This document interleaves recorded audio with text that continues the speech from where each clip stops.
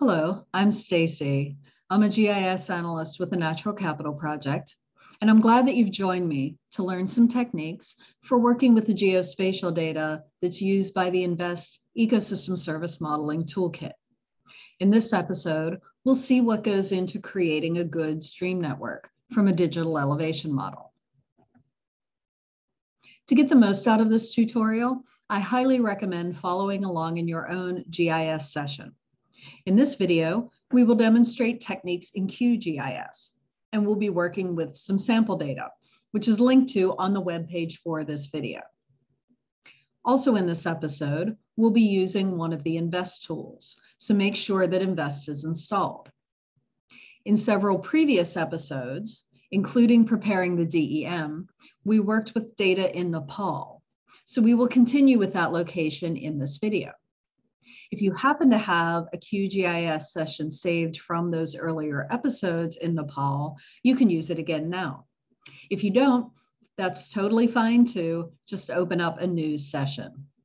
So if you haven't already, now is a good time to pause this video, download the sample data, unzip it, and bring up a QGIS session before continuing.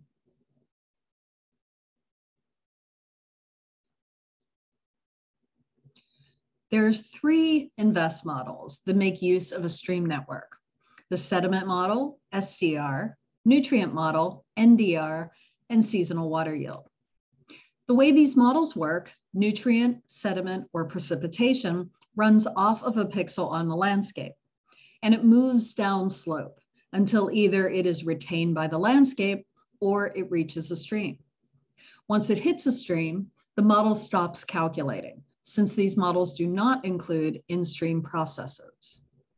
Because the model stops calculating at streams, it's very important that the model creates a stream network that represents the real world at least reasonably accurately. It is also important for creating the watershed that you'll use for your study area, which is a topic that we'll cover in a future tutorial. Streams are derived from the digital elevation model, or DEM, that you provide as input, along with another model input called the threshold flow accumulation, or TFA. The TFA value represents the number of upslope pixels that must flow into a particular pixel in order for it to be considered part of a stream. Another way of thinking about this is that it defines the upslope contributing area that is needed for a stream to form. In the images to the right, you can see the difference between a large TFA value of 10,000 pixels and a small TFA value of 100 pixels. A large TFA value will produce a coarse stream network with fewer tributaries, like we see in the top image. A small TFA value will produce a stream network with more tributaries, like we see in the lower image. Now, thinking about how the models work, each of these options will produce very different results. In the top map, the yellow pixel is far away from the stream. So there is potentially a lot of vegetation between the pixel and the stream that might retain sediment or nutrient, so it's likely that less erosion or nutrient originating from that pixel will make it to the stream. But in the bottom map, that same pixel is now much closer to the stream. So it's much more likely that sediment or nutrient from that pixel will enter the stream as export. So then a common question is, what is the correct threshold flow accumulation value to use for my project? The correct TFA value is the value that causes the model to create a simulated stream network that is as close as possible to the real world stream network in the place that you're studying. So this is going to be different in each case. To determine this, you will need a real world stream map of some sort, preferably geospatial, because then it's easy to visually compare with the modeled streams. But if you only have one that isn't geospatial, that's helpful too. It's just not as easy to directly compare them. You can also make use of satellite data or other GIS base maps. Now, an important thing to accept is that modeled stream networks are pretty much never exactly the same as the real world. So while we try to choose the DEM and the TFA values to create as good of a network as possible, it will not be exactly the same. And it's likely that you'll need to do multiple iterations of creating streams until you find the best TFA value for your needs. Here's an example of this from an analysis in Bolivia. The first DEM that I tried was from Aster, which I've used in other projects successfully. If you compare the Aster map in the upper left to the national stream layer in the lower right, you'll see that they don't match very well. So next, I tried an SRTM DEM, which is another globally available data set and it seemed even more inaccurate compared with a real world stream network. So finally, I tried a HydroSheds DEM. And while it isn't perfect, it came much closer to matching the real world streams than the others. And that's the one we decided to use for hydrology modeling. Interestingly, I have tried HydroSheds in other locations for other projects, and it did not work very well, and we did not end up using it. But this time it was the best one, which illustrates the point that you might need to try multiple DEMs to find the one that works best in the particular place you're modeling. One other thing of note here is that it is really, really hard for any model to create a stream network in a very flat place because models rely on elevation change to know where water flows from one pixel to the next. But if there is no elevation change between pixels, the model just doesn't know where to route water. This area in Bolivia is actually a very large, very flat wetland, which makes it even more difficult to create a stream network that matches the real world. And in reality, streams don't tend to stay the same in floodplains and wetlands anyway. So this is just something to keep in mind if you're working in a very flat landscape. All right, so how to create streams. Of course, the hydrology models themselves will create a stream layer. And you're welcome to just do iterations of the model to determine the correct stream network. However, it can take a while to run a model, especially if we need to do multiple iterations just to look at the streams. So personally, I find it to be faster and more efficient to do this step outside of the model. It is er, also certainly possible to create a stream layer manually using tools in QGIS.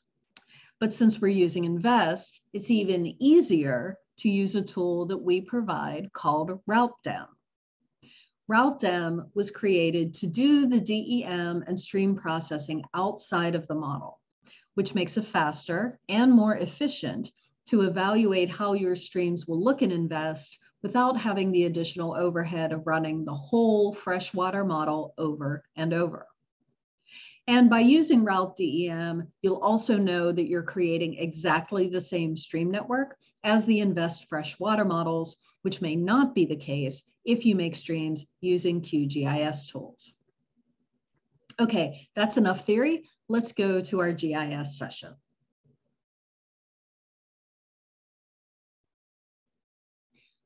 Starting in our File Explorer, let's bring in the DEM that we'll use to create streams.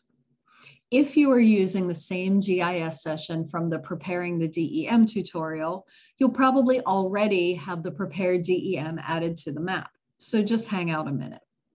If you're starting with a new session, go to the sample data folder which is called Creating Streams Data. And inside of here, there's a file called dem underscore filled.tif. Let's bring it into the GIS.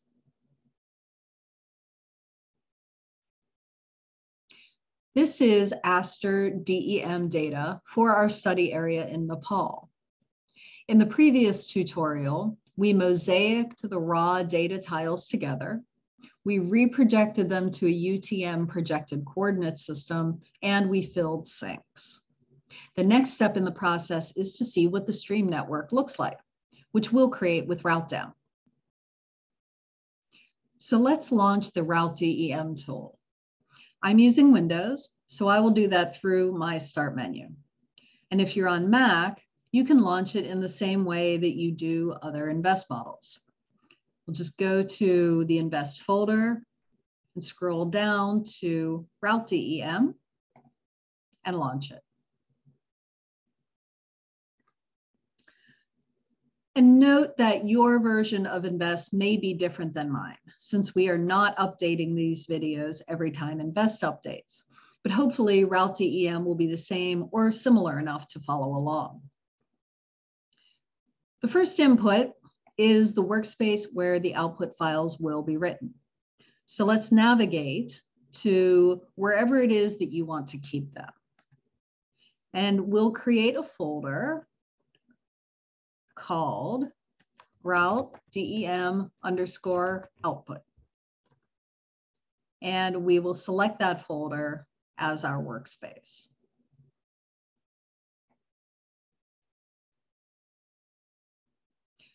For result suffix, I like to include the threshold flow accumulation value that I'm using for this run. We'll talk about this in a moment, but we'll start with a TFA value of 1000. So for the result suffix, enter the string TFA 1000. For the digital elevation model, we want to drag in the file dem underscore filled.tif from the sample data folder.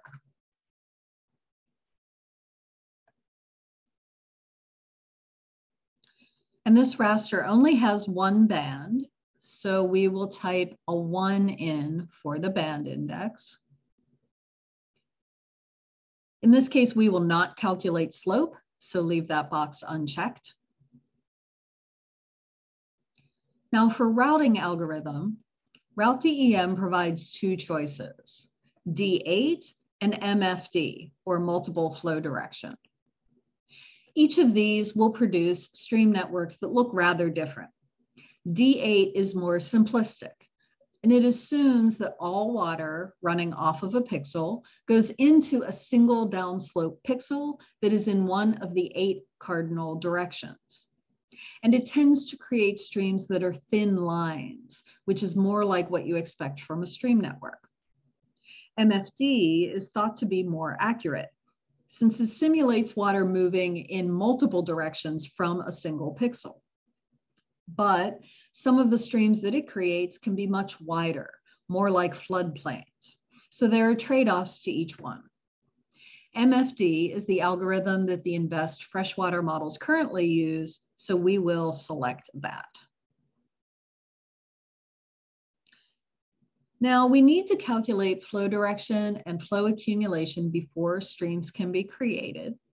So make sure there are check marks next to all of the boxes for calculate flow direction, calculate flow accumulation, and calculate stream thresholds. And once we click calculate stream thresholds, now we need to enter a threshold flow accumulation limit. Again, that value defines the number of upslope pixels that must flow into a particular pixel for it to be considered part of a stream. I generally recommend starting with a value of 1,000, although that's a fairly arbitrary number. Really, the value that you end up using will depend on the size of your pixels and landscape characteristics, and you'll probably need to try several TFA values before you find the one that makes a stream network that comes close to the real world. So for now, let's enter a value of 1,000 and we will not calculate distance to stream, so leave that box unchecked and click Run.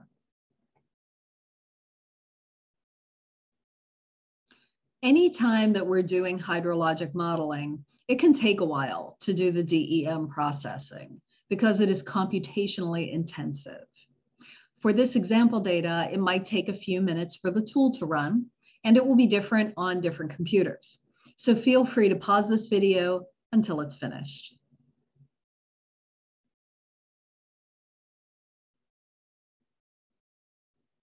When it's finished, click the Open Workspace button.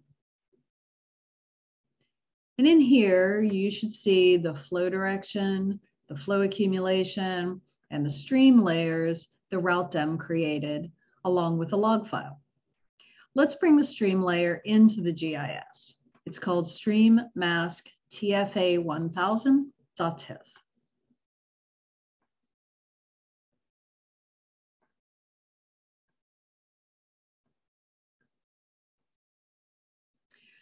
Now, when we first look at this map with the stream zoomed out, they look like they're very disconnected and very choppy. But once we zoom in, we can actually see that they are continuous. But if your stream network is not continuous, um, but it is all chopped up when you zoomed in, that usually means that the DEM has errors that were not fixed by filling sinks the first time. So you can try filling sinks again, but if the streams are still not continuous, that probably means that you need to try a different DEM. Now, if we move around the map, we can see how the MFD algorithm does create some very wide streams. And in general, this is okay, but sometimes it can cause problems if you are modeling riparian buffers in your land cover map or something similar that is based on the stream network, if the streams are not actually that wide in real life. And this is an issue that we are aware of, but we still haven't resolved in the models. If this turns out to be an issue for your modeling, one option is to try burning narrow streams into your DEM. And we won't get into stream burning here, and it can be a tricky thing to do. But know that it's an option, and you can look for more information about it online. Okay, now let's see how this stream network compares with a river layer for Nepal that was created by ICIMOD from National Topographic Survey Maps. Let's go back to the sample data folder in our file explorer. And we have a folder called Nepal underscore rivers. Inside of here, there's a shapefile and there's metadata. Let's bring river.shp into the GIS. I'm going to change the symbology a little so that it is easier to see.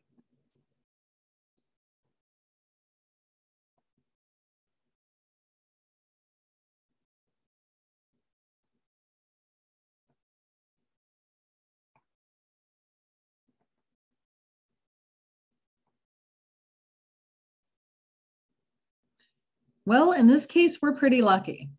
The stream network created by the DEM with a threshold flow accumulation value of 1000 actually follows the real world stream network pretty closely. They're certainly not exactly the same, but they're not bad at all. I'd be happy to use this DEM for an analysis.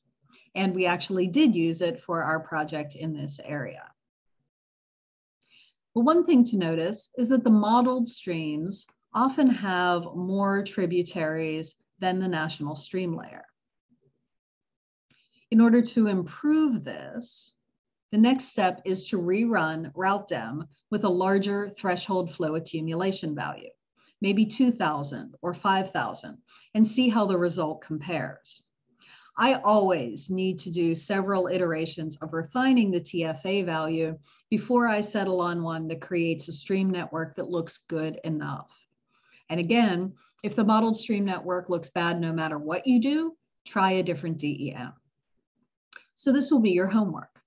Rerun Route DEM with different TFA values until you find one that comes pretty close to a national stream layer. If we were using this for an actual project, we would then use that same TFA value as input to whatever hydrology models we're running. Okay, that's enough for this session. Now that the DEM is prepared, and we've determined that it makes acceptable streams, the final step will be delineating the watershed that is your modeling area of interest. And we will cover this in another episode. If you have any questions or comments about this episode, we'd love to hear from you on our community forum. There's a link to the forum in this video's webpage where you can search for previous posts and create a new post under the category of training. I and other techies at NatCap will see your post and will respond as soon as we can. Thanks for following along.